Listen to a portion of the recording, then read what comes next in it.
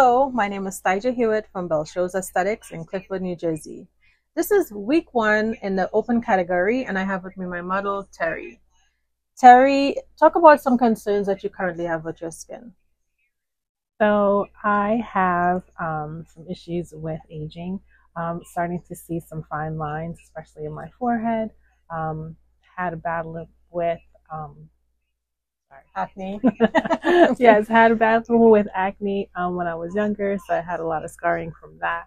Um, with like different pigmentation going on with my skin, not really taking care of it, going out in the sun without wearing sunscreen, um, and then obviously the most like prominent on my face and on my chest and as well as my back.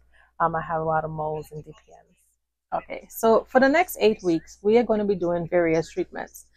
For Terry's first treatment, I'm going to be focusing on rejuvenating and revitalizing her skin. I'm going to be doing this by using an AHA scrub that contains glycolic, lactic, and citric acids. This is going to slough off that dead skin. It's also going to help with reducing her fine lines and wrinkles and also giving her skin a radiance due to the citric acid it is not just a simple exfoliant, it's also going to help eliminate impurities that are on the dermis and it's also going to eliminating it without creating any abrasions. It would also help to reduce the appearance of her hyperpigmentation as well as control her oily acne prone skin.